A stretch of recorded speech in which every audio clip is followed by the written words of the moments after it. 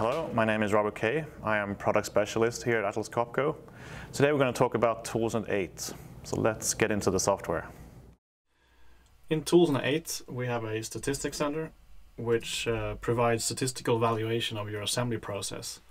You can look at one or two programs at a time, do a comparison between two different versions of a program or a left and a right hand side of the operation. Whenever you update a program on the controller, uh, any new results will be associated with a new version of that program. So let's set it up. So I'll set the date range. I will select the program. So this is the operation. I have a left and a right. So you got the right hand and the left hand, and I'm looking at OKs and torque. If I want to select something else, I can use angle or run-down angle. And you can set the group size. So here you have the uh, right hand and the left hand, the number of results for each program. And you have a list of KPIs. So here you have the CPK and the PPK value. And these are two commonly used measures of process capability. So how well your process is meeting the specifications. The supplier or the customer may require a CPK value of 1.33 or above. The major difference between CPK and PPK is the way the process is estimated. If CPK is approximately the same as PPK, then the process is in statistical control. The X-bar tab shows a X-bar graph of one or more two programs. So the chart plots the process mean over time for the groups and the group size is defined up here. The results are grouped by group size values of from 2 to 15.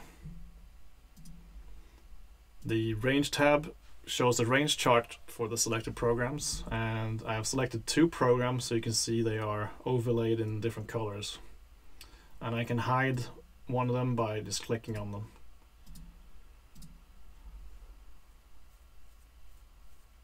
The range chart plots the process range so that's the difference between the highest and lowest value over time. The histogram shows you the dis distribution of the torque results, or I can change it to angle. And I can zoom by clicking and dragging. They look fairly similar, but you can see there is a difference.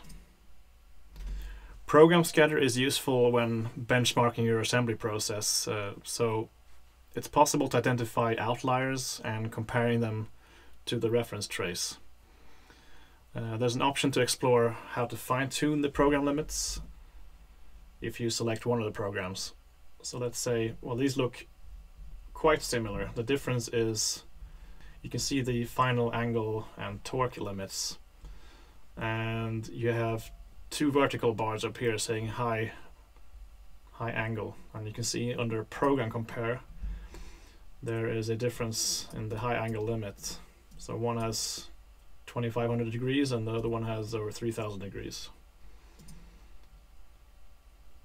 If I select one program, you can see that I can see what happens if I adjust the limits.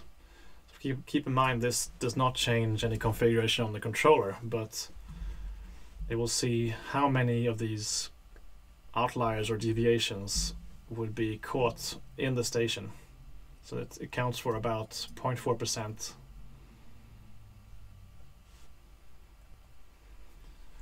Now I have set up a reference trace for this application. So if I click on one of the data points in the main group, I can see compared to the reference trace, these are quite similar. If I go back and click on one of these outliers, I just click on that point. It takes me to the trace and I can see the reference trace is a dotted line and the the outlier that I selected looks uh, very different. So this is it could be a potential issue. So essentially this part is helping you find the false OKs. And next we have the trace analysis tab. So the trace analysis here is used up to 1000 traces uh, to calculate standard deviation, range and the mean trace. Uh, the actual number of traces depends on how you set up the filters. This tool works best for processes that don't have too much of a variation. Uh, due to the vast amount of traces and calculations, it may take uh, a little while for this tab to fully load. But you can see there's a torque angle, uh, torque over time, and a angle over time. So this bl big blue shape is essentially the torque range, which means looking at the last thousand traces, if you overlay all of them, this is essentially the outline of all of those traces overlaid on top of each other. So it's a bit like tracing the fingers on your hand. And that is how you use the Statistics Center. If you would like to learn more, please contact your local Atlas Copco representative. I hope this video was helpful. Thank you for watching.